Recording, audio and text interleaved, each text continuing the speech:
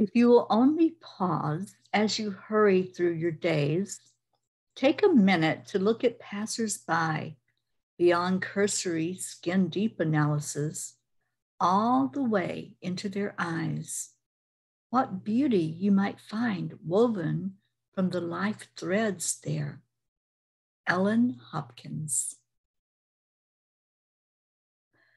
One of my favorite things to do is people watch. While having a cool drink outside today in the warm Arizona sun, I had a chance to do just that. I sat with my friend Sharon and we chatted while watching golfers practice.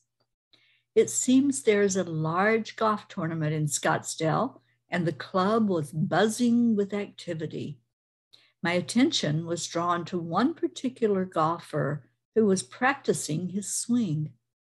I was intrigued by his consistent action and warm up exercise before each swing.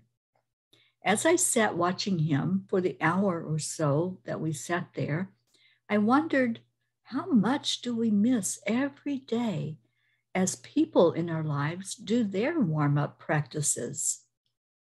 We are creatures of habit, and many times when we see things others in our lives do habitually, we start shutting it out until our attention is drawn to it, much as my attention was drawn to the golfer.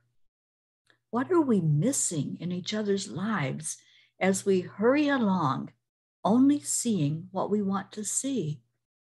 How do we encourage each other if we are not fully present with them? Dear angels, in our hurry up and get there world, we miss so much of the communication with each other. How can we be the very best partner, friend, family member possible and still take care of all we have on our plates?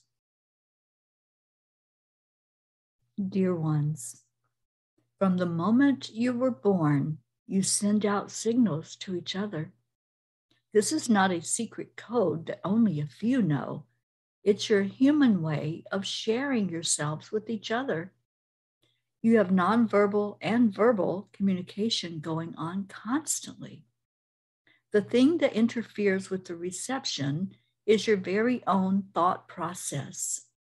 There has to be a willingness to open to others in your life, or else you will go right past their cry for support Yes, if they yell loudly or act out, they most certainly will get your attention. However, many times the ones who are hurting or scared will not do that. They start turning inward and shutting off the frequency. You do yourself and others a disservice when you rush through your life. There really is no excuse for overcommitment or for not taking a moment for each other.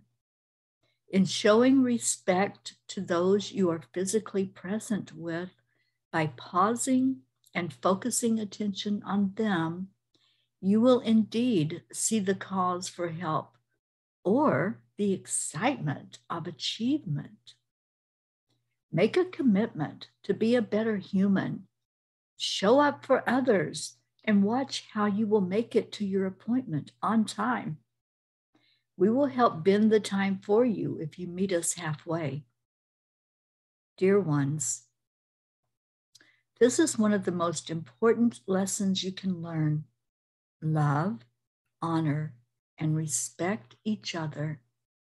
After all, you are all connected, and in honoring others, you are honoring yourself. In ignoring and disrespecting others, you are disrespecting yourself. Dear angels, help me to always stay present as I listen to and observe the people in my life. Thank you. I love you. Namaste, y'all.